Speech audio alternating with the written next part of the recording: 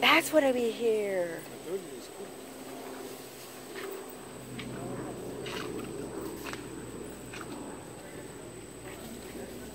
Uh, you should give them the peels. Oh.